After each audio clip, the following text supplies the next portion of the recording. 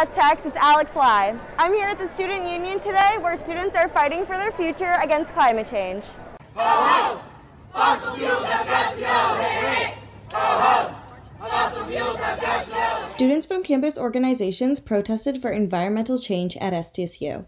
This was the first in-person protest for students attending the strike. I'm here because like this is something I've been passionate about for a really long time and this is really the first opportunity I've had to be like, involved in it. Protesters marched with signs asking for compost bins on campus and affordable public transportation. Today we came with a list of demands and what we want from the administration is for them to hear us and make a timeline to accomplish these demands that we've set forth, such as zero waste and renewable energy, um, divesting from fossil fuels.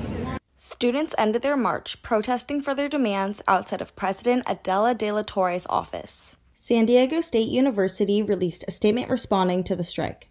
SDSU has a demonstrated commitment to sustainability locally and globally, as evidenced by its strategic plan priorities and construction activities dedicated to sustainable practices. To read the full story, visit our website. And for the Daily Aztec, I'm Alex Lai.